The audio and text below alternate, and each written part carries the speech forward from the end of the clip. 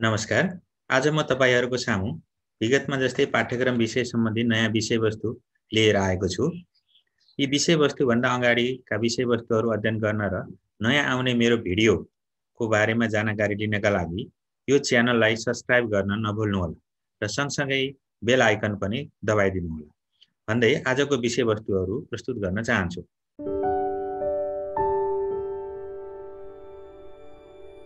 Definitional issue of curriculum as a system भन्ने शीर्षक अन्तर्गत सिस्टम भ्यू अफ करिकुलमको बारेमा हामी चर्चा गर्न गइरहेका छौँ।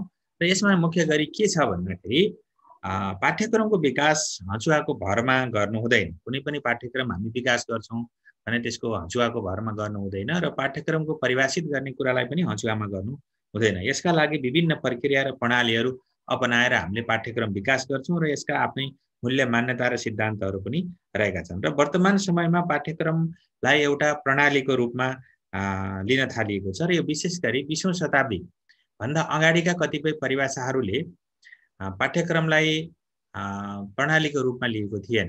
र यस बिसौँ शताब्दीमा आइसकेपछि सुरुदेखि नै पाठ्यक्रमलाई एउटा प्रणालीको रूपमा लिन थालिएको छ र पाठ्यक्रमलाई एउटा प्रणालीको रूपमा लिँदै गर्दाखेरि यसका केही पक्षहरू छन्। मैले तपाईँलाई यहाँ क्रमशः जानकारी गराउँछु र करिकुलम एज अ सिस्टम के हो त भन्ने कुराबाट हामी सुरु गर्छौँ। This concept develop from twentieth century यो करिकुलम एज अ सिस्टम अथवा सिस्टम भ्यू अफ करिकुलमको कन्सेप्टको सुरुवात चाहिँ विश्व शताब्दीबाट भएको देखिन्छ। अब सिस्टम के हो त भन्दा system is a systematic management of the elements that operates in the unique way यो एउटा चाहिँ क्राफर्ड क्राफर्ड भन्ने विद्वानले system is a systematic management of the elements that operates in a unique way भनेर भन्नुभएको छ। र यसले के भन्न खोजेको छ भन्दाखेरि प्रणाली भन्नाले विभिन्न तत्त्वहरूको एउटा योजनाबद्ध व्यवस्थापन हो जसले पृथक ढङ्गले कार्य गर्दछ भनेर भनिएको छ। र सिस्टमले कार्य गर्छ अथवा एउटा एउटा सिस्टमभित्र एकभन्दा बढी इलिमेन्ट्सहरू हुन्छन् ती इलिमेन्ट्सहरू एकअर्कोमा अन्तर रिलेटेड सम्बन्धित हुन्छन् र तिनीहरूले एउटा फरक ढङ्गले कार्य गर्छन् भनेर सिस्टमलाई परिभाषित गरेका छन् क्रिफर्डले। त्यस्तै गरेर अन्य विद्वानहरूको केही डिफिनेसनहरूलाई हेर्दाखेरि a learning system is a original combination of the pupil materials facilities equipments which interact among the each other to achieve the goal भनेर भनिएको छ। हामीले कुनै पनि उद्देश्य प्राप्त गर्नका लागि एकभन्दा बढी ओरिजिनल कम्बिनेसनहरू इलिमेन्ट्सहरूको कम्बिनेसन जस्तै त्यसमा चाहिँ मानिस हुनसक्छ मेटेरियल्सहरू हुनसक्छ फेसिलिटीहरू हुनसक्छन् साधन स्रोत इक्विपमेन्ट्सहरू हुनसक्छन् तिनीहरू बिचको इन्ट्र्याक्सन र त्यसलाई त्यो इन्ट्र्याक्सन के का लागि त भन्दा उद्देश्य प्राप्त गर्नका लागि गराइन्छ भने त्यो एउटा सिस्टम हो। अथवा एउटा उद्देश्य प्राप्त गर्नका लागि एकभन्दा बढी इलिमेन्ट्सहरू बिचको कम्बिनेसनलाई नै वास्तवमा सिस्टम भनेर भनिन्छ। र हाम्रो सिकाइमा पनि यो कुरा हुन्छ। एकभन्दा बढी जस्तै विद्यार्थी हुन्छ मेटेरियल्सहरू हुन्छन् फेसिलिटीहरू हुन्छन् इक्विपमेन्ट्सहरू हुन्छ टिचरहरू हुन्छ फिजिकल फेसिलिटिजहरू हुन्छन्। यिनीहरूको चाहिँ कम्बिनेसनबाट नै हामीले गोल प्राप्त गर्छौँ भन्ने कुरा हो।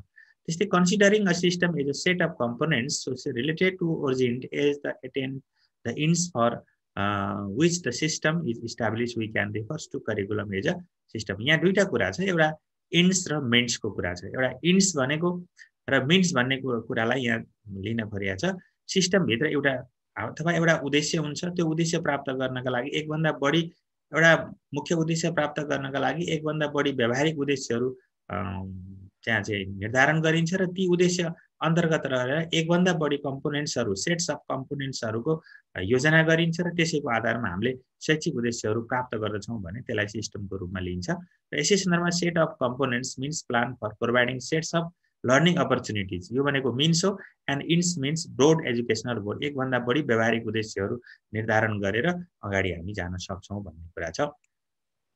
अब सिस्टम करिकुलम सिस्टम जुन छ एज अ सिस्टमको रूपमा यसको क्यारेक्टरिस्टिक्स तथा विशेषताहरू के हुनसक्छ त भन्ने बारेमा हामीले हेर्दाखेरि अब करिकुलम एज अ सिस्टम भन्दा बित्तिकै सिस्टमको एउटा पर्पोज हुन्छ। जस्तै हाम्रो करिकुलमको पनि प्रि डिटरमाइन्ड पर्पोजहरू हुन्छन्। पूर्व निर्धारित उद्देश्यहरू हुन्छन् र तिनै उद्देश्यहरूको आधारमा विभिन्न व्यावहारिक र कक्षागत उद्देश्यहरू निर्धारण गरेर शिक्षकले कक्षामा चाहिँ शिक्षण गर्छ। त्यस कारणले करिकुलमको एउटा पर्पोज छ। पर्पोज भएको हुनाले यसलाई हामी सिस्टमको रूपमा लिन सक्छौँ भन्न सकिन्छ। त्यस्तै अर्गनाइजेसन इन्ट्रेक्सन एन्ड इन्टिग्रेसन तिनवटा कुरा छ। एउटा सङ्गठनको कुरा इन्ट्रेक्सनको कुरा र एकीकृत गर्ने कुरा इन्टिग्रेसनको कुरा।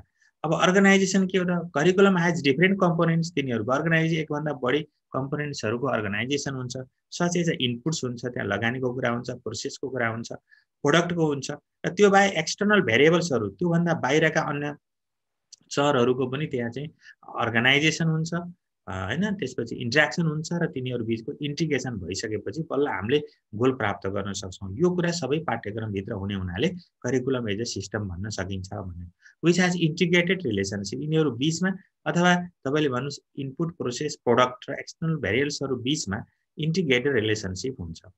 त्यस्तै एउटा चाहिँ डिपेन्डेन्सीको कुरा छ यो म्युचुअल डिपेन्डेन्सी भन्छ। यो कस्तो भन्दाखेरि यति अन्तर सम्बन्धित होइन अन्तर अन्तर सम्बन्धित अथवा पारस्परिक निर्भरता भन्छ। अब यो पारस्परिक निर्भरता भनेको कस्तो भन्नुहुन्छ भने पाठ्यक्रम प्रणालीका उद्देश्यहरूको प्राप्तिमा एउटा तत्त्वले मात्रै काम गर्दैन। यसमा लगानीको पक्ष पनि उत्तिकै महत्त्वपूर्ण हुन्छ प्रक्रियाको पक्ष पनि हुन्छ र उत्पादनको पक्ष पनि त्यसमा महत्त्वपूर्ण हुन्छ।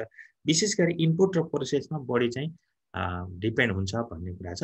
त्यसैको इनपुट र प्रोसेसको आधारमा प्रोडक्ट पनि आउँछ र त्यसको सँगसँगै अन्य भेरिएबल्सहरूले पनि त्यसलाई प्रभाव पारेको हुन्छ। त्यो त्यही भएर यसमा चाहिँ के हुन्छ त भन्दा पारस्परिक निर्भरताको पक्ष पनि करिकुलम एज अ सिस्टमभित्र छ। त्यस कारणले पनि यसलाई हामी भन्न सक्छौँ एज अ सिस्टमको रूपमा।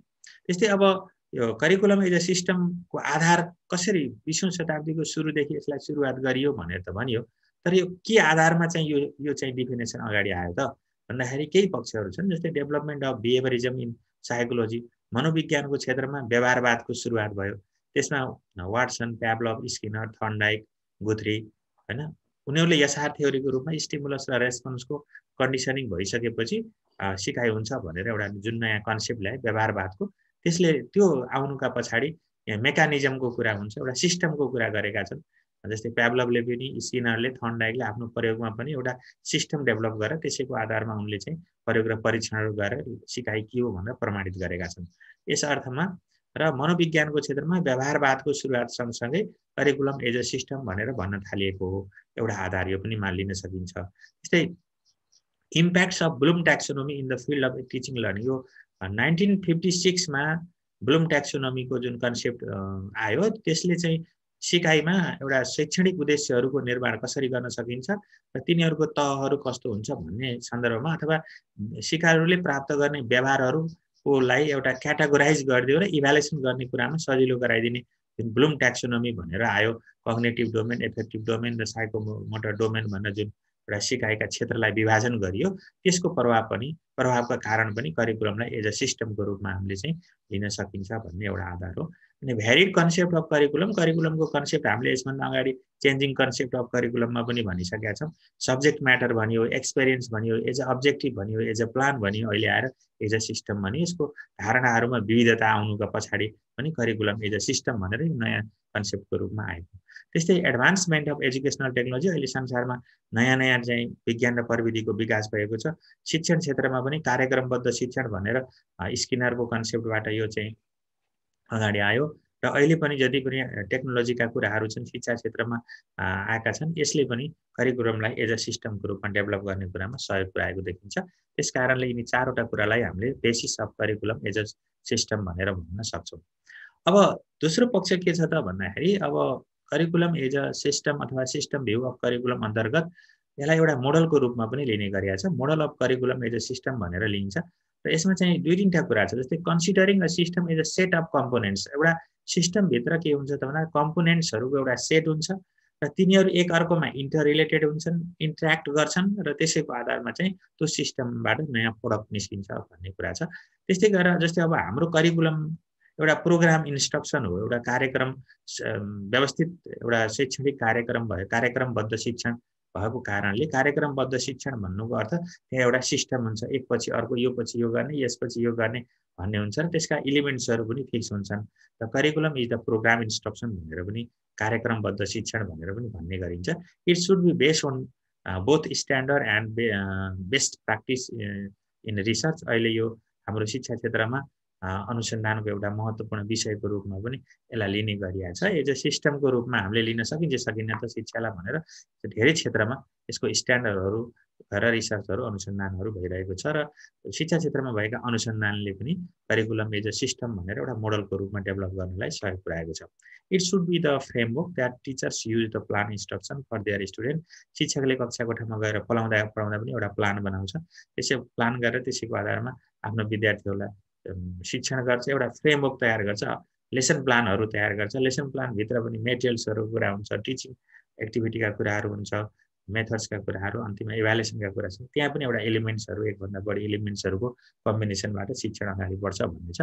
यस यो मोडल त्यही भएर model of curriculum as a सिस्टमको रूपमा लिएको छ। यसलाई तपाईँले चित्रमा पनि देख्न सक्नुहुन्छ। यहाँ चाहिँ तिनवटा पक्षलाई महत्त्वपूर्ण पक्षको रूपमा देखाइएको छ। करिकुलम इनपुट भने चाहिँ एउटा पाठ्यक्रममा लगानीका पक्षहरू हुन्छन् होइन? लगानीका पक्ष हुन्छ अर्को दोस्रोमा गएर करिकुलम प्रोसेस हुन्छ तेस्रोमा गएर करिकुलम प्रोडक्ट हुन्छ। र यसमा चाहिँ माथि गएर एक्सटर्नल भेरिएबल्स यी बाहेक एक्सटर्नल भेरिएबल्सहरू बाह्य तत्त्वहरू बाह्य चरहरू पनि हुन्छन्।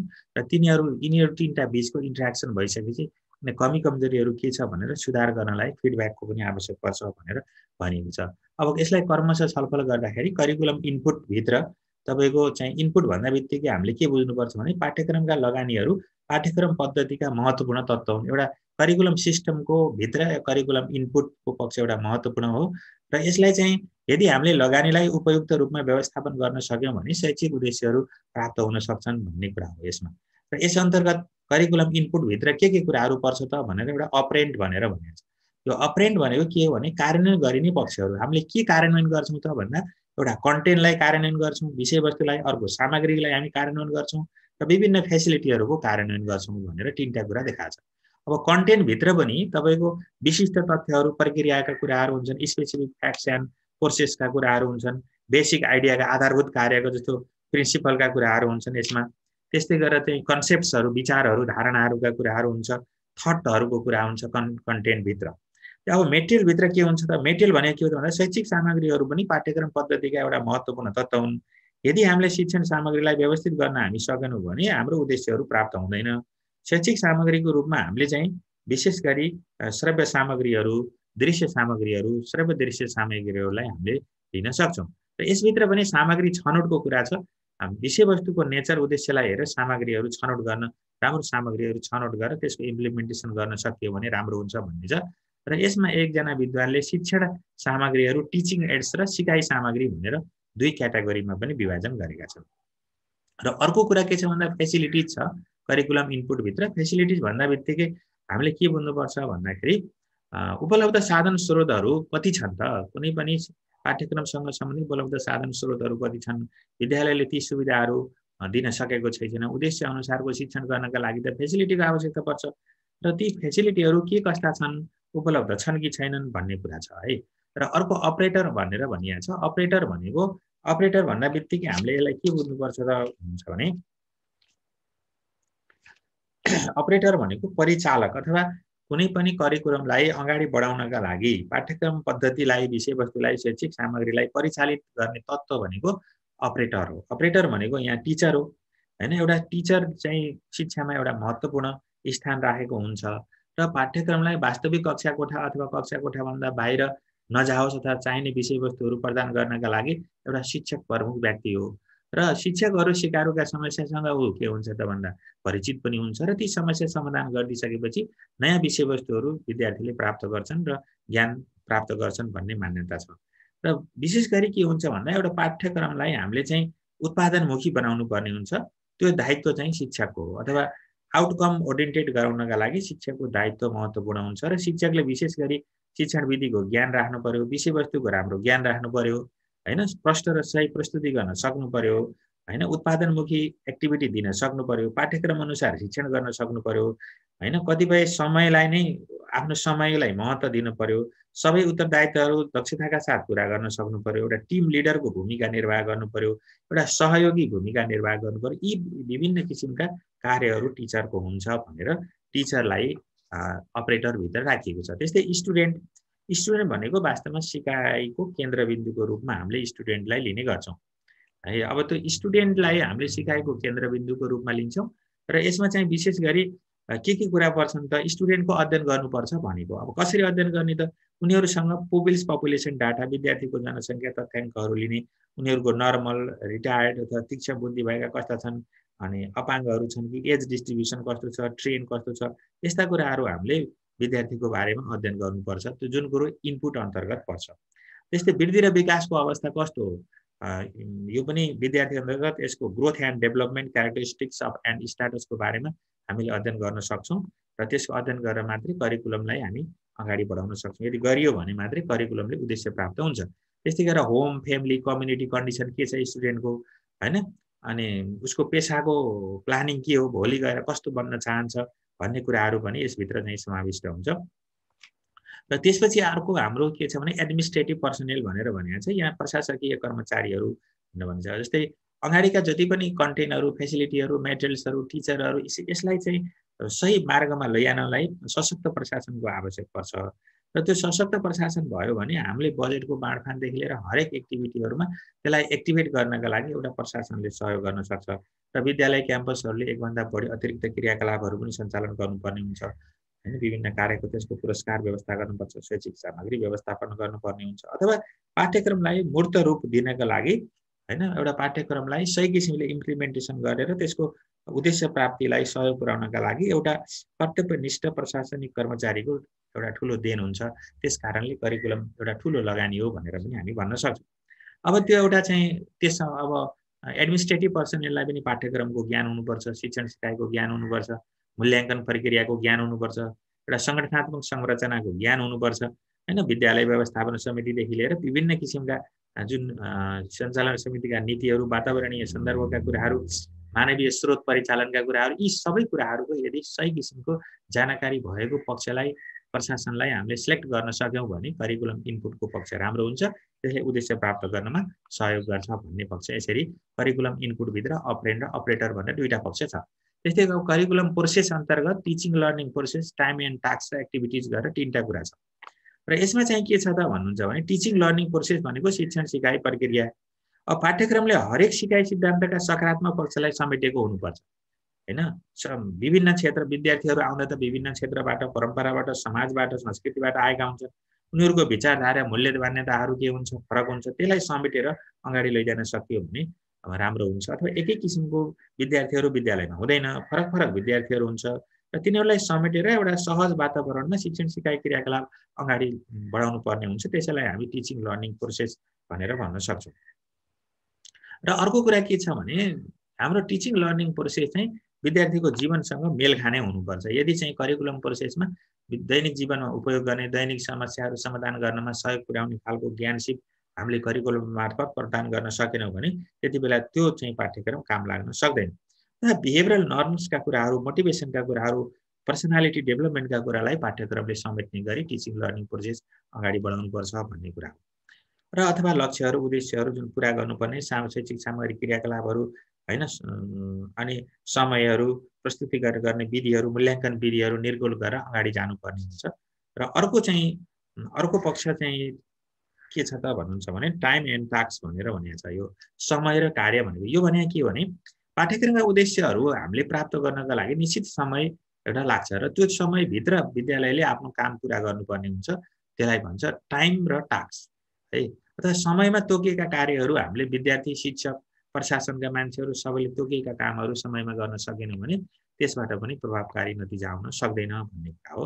र अर्को एक्टिभिटिज भनेको छ है टाइम र टास्कको कुरा भयो अब एक्टिभिटिजमा के छ भने यो गरेर सिक्ने सिद्धान्तलाई फोकस गरेका छ। यसमा चाहिँ विशेष गरी विद्यार्थीहरू क्रियाकलापमा सहभागी नभएसम्म होइन उनीहरूले सिक्न सक्दैनन् भन्ने लर्निङ बाई डुइङको कन्सेप्ट हो।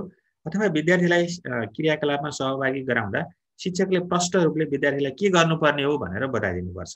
कस्तो काममा जाने हो अप्ठ्यारो कहाँनिर परेको छ त्यसको हेर्ने त्यसको आधारमा अगाडि बढाउने जस्ता कुराहरू गर्नुपर्ने हुन्छ। र अर्को कुरो कक्षा कोठाका क्रियाकलापका साथसाथै अन्य अतिरिक्त क्रियाकलापहरूमा पनि विद्यार्थीलाई इन्भल्भमेन्ट गराउनुपर्छ भन्ने कुरा छ। अब यति भइसकेपछि अर्को पक्ष हाम्रो के छ भने करिकुलम प्रोडक्ट अथवा करिकुलम आउटपुट भनेर भनिन्छ। र कुनै पनि प्रणाली अथवा लगानीको प्रक्रिया लगानी र प्रक्रिया इनपुट र प्रोसेसको सफलता रूपमा अगाडि बढ्यो भने त्यसको उत्पादन अथवा प्रोडक्ट अथवा आउटपुट राम्रो हुन्छ भनेर भनिन्छ। अथवा भन्नुहोस् उत्पादन र उपलब्धिको आधारमा हामीले कुनै पनि प्रणालीको मूल्याङ्कन गर्छौँ। करिकुलम पनि एउटा प्रणाली भएको हुनाले विद्यार्थीहरू कस्तो किसिमको प्रोडक्ट हामीले निकाल्न सक्छौँ त्यसको आधारमा हाम्रो करिकुलमको मूल्याङ्कन हुन्छ र यसभित्र चारवटा कुराहरू महत्त्वपूर्ण चारवटा कुराहरू यसभित्र छन्। एउटा स्टुडेन्ट एचिभमेन्टको कुरा छ।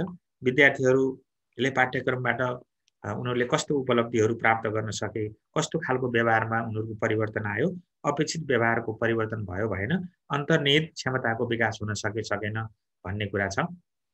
यसमा चाहिँ तपाईँको विद्यार्थीको एचिभमेन्टको कुरा मैले तिन नम्बरको कुरा गरेँ पहिले। त्यसपछि दोस्रोमा चाहिँ इन्स्टिट्युसनल डेभलपमेन्ट छ संस्थागत विकास। संस्थागत विकास पनि हुनुपर्छ। सँगसँगै चाहिँ तपाईँको संस्थागत विकास भएन विद्यालयहरू क्याम्पसहरूको सँगसँगै उन्नति पनि हुनु पऱ्यो त्यसमा डेभलपमेन्ट भएर जानु पऱ्यो जस्तो अहिले नेपालमा पनि विश्वविद्यालयहरू क्याम्पसहरू एउटा नमुना विद्या विश्वविद्यालय क्युए प्राप्त क्याम्पस भनेर भनिन्छ। त्यहाँ चाहिँ फिजिकल्ली फिजिकल्ली त्यहाँदेखि एकाडेमिकल्ली धेरै कुराहरूलाई संस्थागत विकास गरेर अगाडि लिएर जान सकिन्छ भन्ने मान्यताका साथ आएको छ। यसले प्रोडक्टमा सुधार ल्याउँछ भन्ने नै हो। र अर्को कुरा चाहिँ जस्तै शिक्षण संस्था कमजोर भइदियो भौतिक सुविधाहरू कमजोर भइदियो भने विद्यार्थीले प्राप्त गर्ने उपलब्धिमा पनि कमजोरी आउँछ भन्ने कुरा हो। र अर्को कुरा कस्ट इफेक्टिभनेस भन्छ मूल्य प्रभावकारिता। अथवा यहाँ भन्न खोजेको भने पाठ्यक्रमलाई सफलतापूर्वक लागू गर्नका लागि होइन लगानी हुनु अति आवश्यक छ। अब त्यो लगानी गर्दाखेरि कस्ट कस्ट कुन कुन पक्षमा लगानी गर्ने? विद्यालयका पूर्वाधारहरूदेखि लिएर शैक्षिक सामग्रीहरू सुविधाहरू स्रोतहरू जुटाउन आर्थिक लगानी बिना सम्भव छैन र तिनीहरूको प्रपर युज पनि हुनु पर्यो। स्रोत जुटाउने भनेर भएन त्यहाँ त्यसलाई चाहिँ प्रपर युज सही ठाउँमा त्यसको युज हुनुपर्ने हुन्छ। र तर एउटा कुरा के छ भने पाठ्यक्रममा शिक्षामा गरिएको लगानीबाट तत्काल प्रतिफल नआउने भएको हुनाले राज्य स्तरबाट व्यक्तिगत स्तरबाट संस्थागत स्तरबाट लगानीमा अलिकन तत्काल प्रतिफल नआउने हुनाले लगानी गर्नलाई अलि हिचकिचाएको पनि देखिन्छ। अथवा शिक्षामा भएको लगानीको प्रतिफल तत्काल नहुने केही समय पर्खनु पर्ने हुन्छ। यद्यपि विद्यार्थीले प्राप्त गर्ने दक्षता उसको क्षमताले भोलि गएर त्यो एउटा ठुलो सफलता अथवा प्राप्तिको रूपमा हामीले लिन सक्छौँ। शिक्षकहरू तालिम प्राप्त भइदियो कुशल प्रशासक कर्मचारीहरू भइदियो सुविधा सम्पन्न हामीले गर्न सक्यौँ भने निश्चित रूपमा त्यहाँ इन्स्टिट्युसनल डेभलपमेन्ट भएको मानिन्छ। र अर्को चाहिँ एक्सटर्नल इफिसियन्सी भनेर भन्छ यो बाह्य कुशलता भनेको हामीले त्यहाँबाट पाठ्यक्रम बाट प्राप्त गरेर उत्पादन भएको जनशक्तिले भोलि गएर बाहिर गएर आफ्नो कार्यदक्षता राम्रोसँग देखाउन सक्छ कि सक्दैन? यदि राम्रोसँग कार्यदक्षता देखाउन सक्छ भने निश्चित रूपमा हाम्रो पाठ्यक्रम राम्रो छ भनेर भनिन्छ र अब यदि यी तिनवटा पक्षहरूमा यो बाहेक एक्सटर्नल भेरिएबल्सहरू कुराहरू यो बाहेक बाहिरी वातावरणको प्रभाव राजनैतिक प्रभाव छ होइन? अन्य विभिन्न किसिमका प्राकृतिक प्रकोपका प्रभावहरू विभिन्न किसिमको अब यो सङ्क्रमण अहिलेको जस्तो कोरोना सङ्क्रमणको बेला छ त्यो कोरोना सङ्क्रमण यी कुराहरूले असर गर्छ र अर्को कुरा के छ भने करिकुलम इनपुटको पक्ष प्रोसेसको पक्ष र प्रोडक्टलाई छुट्टा छुट्टै इभ्यालुएसन गरेर त्यसमा कहाँनिर कमजोरी छ हामीले फिडब्याक पनि एकदम जरुरी हुन्छ भन्ने अर्थमा हामीले यो model of curriculum as a system भन्नेलाई हामी देखाउँछौँ। जुन कुरा मैले अगाडि व्याख्या पनि गरेको छु अपरेन्टभित्र कन्टेन्ट मेटेरियल फेसिलिटिज अपरेटरभित्र टिचर स्टुडेन्ट एडमिनिस्ट्रेटिभ पर्सनल अनि त्यसै करिकुलम प्रोसेस भनेको teaching learning process determination of the objective preparation of plan evaluation feedback जस्तो उद्देश्य निर्धारण गर्ने प्लान योजनाहरू बनाउने कुरा यसमा परे। Time and times implementation period and what types of plan need to be construct हामीलाई कस्तो किसिमको खालको योजना बनाउनु पर्ने हो त्यसलाई कसरी कति समय लाग्ने हो त्यो इम्प्लिमेन्टेसन गर्न। Activity what types of specific activities for the attainment of target goal हाम्रो लक्ष्य प्राप्त गर्न कस्तो किसिमको एक्टिभिटीहरू कसले गर्नुपर्ने हो भन्ने कुरा छ। अर्को करिकुलम प्रोडक्ट भनेर जुन इन्स्टिट्युसनल डेभलपमेन्ट कस्ट इफेक्टिभनेस लागत प्रभावकारिता स्टुडेन्ट एचिभमेन्ट एक्सटर्नल इफिसियन्सीका कुराहरू मैले तपाईँहरूको सामु राखेँ। यति भन्दै आजको हामीले यो विषयवस्तु यहीँ मैले अन्त्य गर्न चाहन्छु र यो विषयवस्तु तपाईँलाई अति मन परेको भए तपाईँले यो च्यानललाई सब्सक्राइब गरिदिनु होला र नयाँ भिडियो प्राप्त गर्नको लागि बेल आइकनलाई पनि दबाइदिनु होला। हस्त धन्यवाद। नमस्कार।